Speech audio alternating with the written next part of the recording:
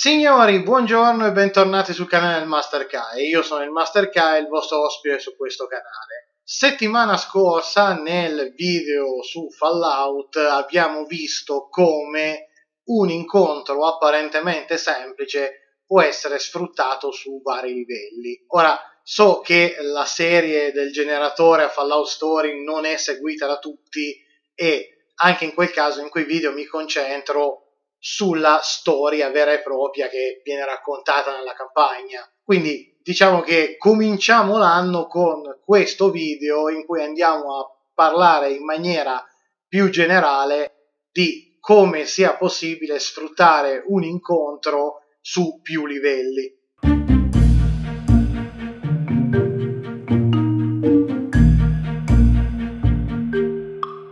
Cominciamo facendo una doverosa premessa. Molto spesso quando si parla di incontro si va a pensare a un incontro di combattimento in cui i giocatori vengono messi contro un avversario e bisogna uscire le armi e risolvere la questione con uno scontro.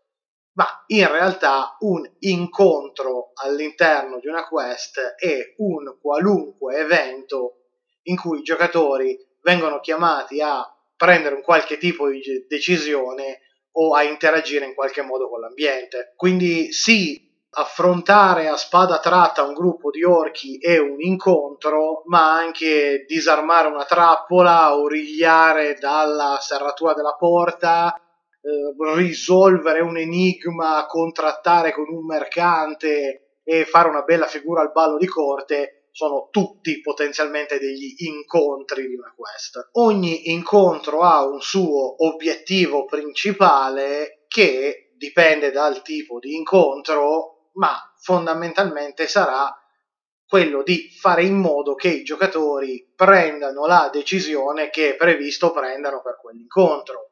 In un incontro di combattimento sarà combattere i nemici o fuggire dai nemici o aggirare i nemici, comunque superare i nemici, in un incontro sociale sarà convincere, mentire, ingannare o evitare di essere convinti, mentiti o ingannati, ma quando un incontro viene presentato ai giocatori in una quest, viene presentato per un motivo in particolare. Questo però non deve impedire che quell'incontro, una volta assunto il suo ruolo principale, una volta che il suo obiettivo principale è stato esaurito, non possa avere degli elementi ulteriori e avere ulteriori scopi rispetto al motivo principale. Il primo livello di un incontro, che è quello che è sempre presente, è il livello meccanico. Questo dipende totalmente dal sistema di gioco che state usando. Giochi diversi hanno regolamenti diversi,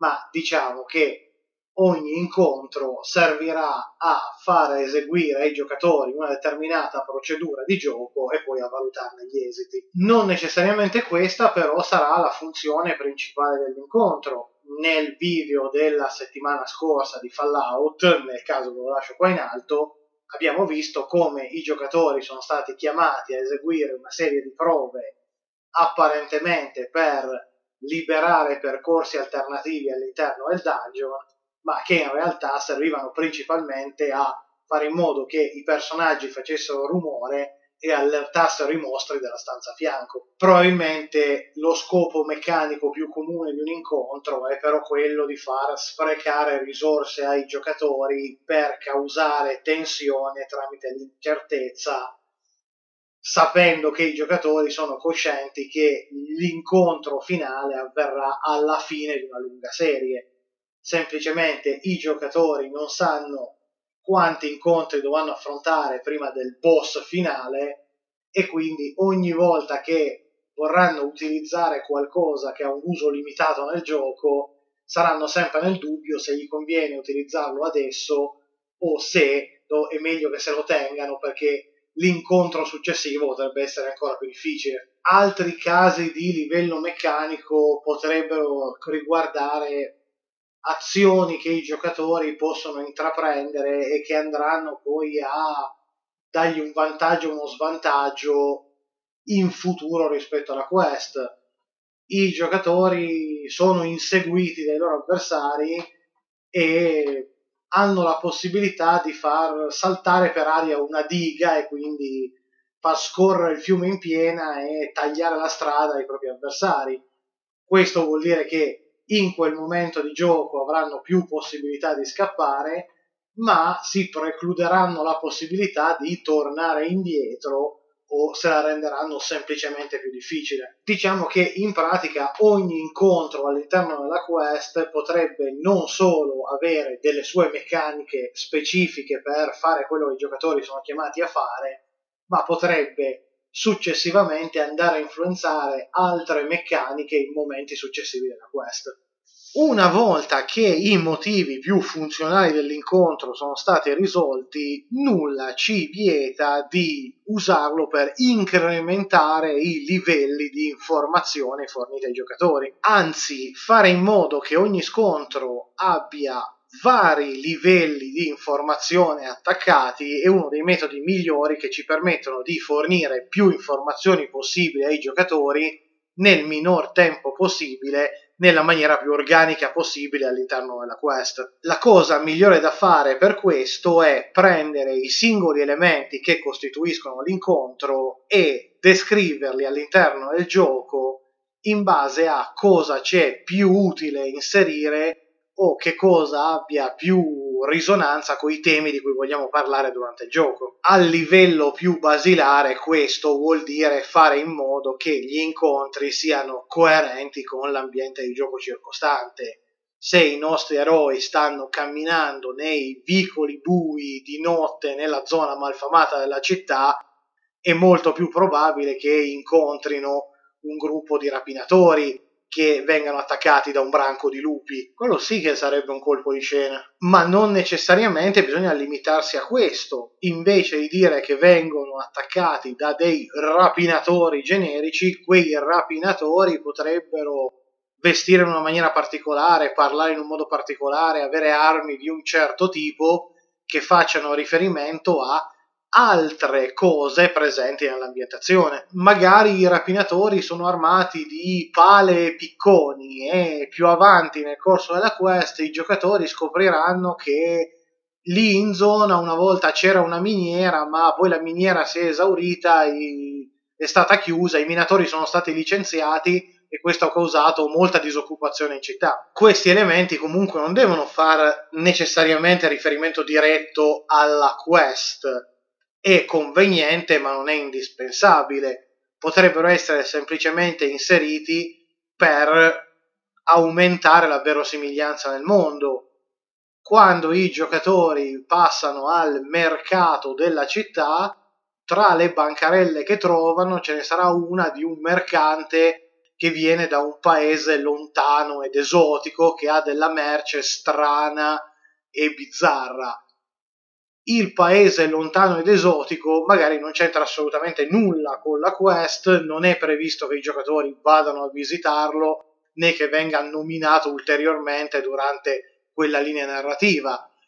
Però è un modo per ricordare ai giocatori che la mappa si estende molto di più rispetto a quella che vedono loro e che è, possano capire che il mondo è molto più vasto di quello che pensano. Di questo abbiamo già parlato di più e più a fondo nel video sulla narrazione mimetica, ve lo lascio qua su se dovete ancora andarlo a recuperare, oramai è un po' vecchiotto.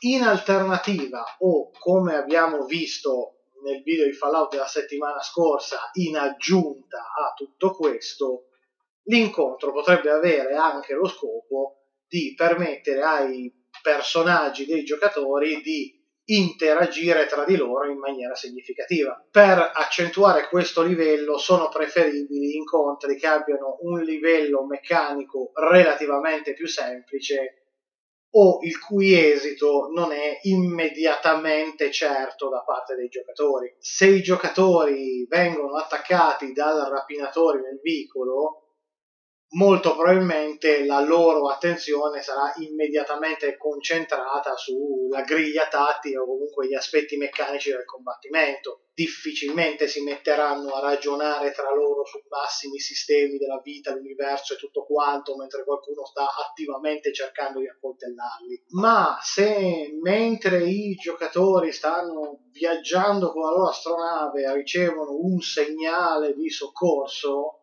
magari basterà una singola prova in una qualche abilità per eh, intercettare il segnale e tracciarne l'origine, ma eh, i giocatori avranno la possibilità di discutere tra di loro sul fatto se rispondere o meno alla chiamata.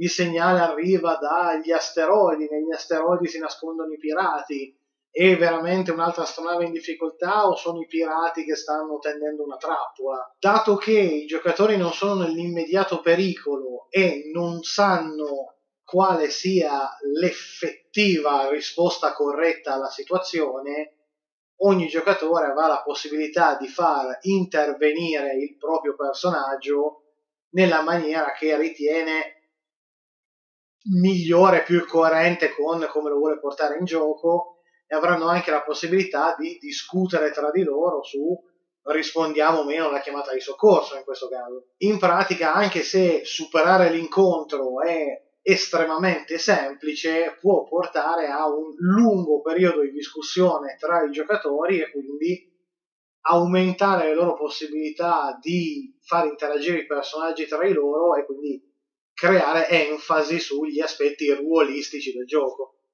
Ovviamente questi aspetti non si escludono a vicenda, anzi più cose il master riuscirà a inserire in un singolo incontro, meglio sarà perché quell'incontro avrà più profondità, più spessore drammatico. Fate però attenzione a non fare l'errore di cercare di mettere troppa roba all'interno di un unico incontro anche quando non ce n'è bisogno.